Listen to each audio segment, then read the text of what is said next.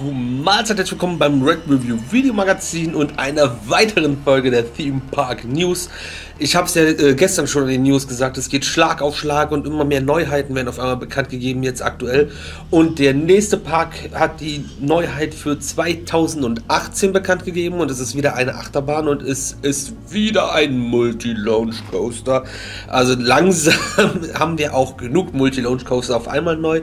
Ja, der britische Freizeitpark Blackpool Pleasure Beach bekommt 2018 einen Mack Rides Multi-Launch Coaster, also einen Mack Rides Mega Coaster als Multi-Launch Coaster mit zwei Abschüssen, einer äh, Inversion in Form einer Inline-Twist, ein Top-Hat, wo ich nicht sicher bin, ob man das jetzt als Inversion zählen kann oder nicht, der das so straight da reindreht.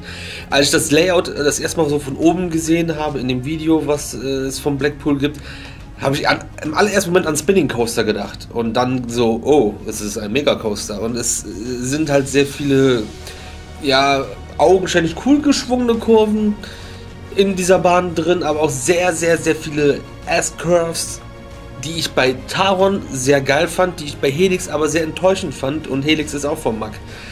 Seien wir mal gespannt, das Ganze läuft unter dem Projektnamen Construction 2018 momentan.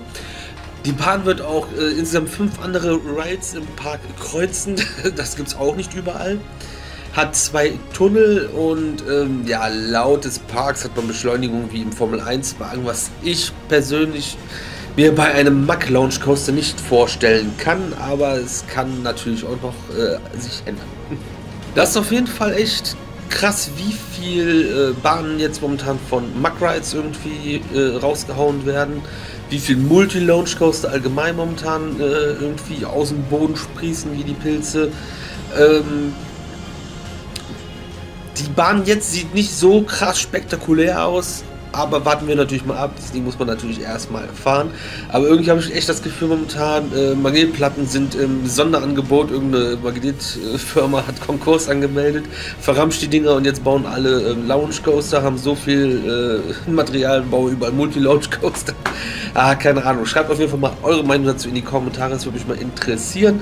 Ich habe euch auf jeden Fall jetzt ganz schnell noch am Laufenden gehalten und das war's von mir zu Construction 2018 in Blackpool Pleasure Beach.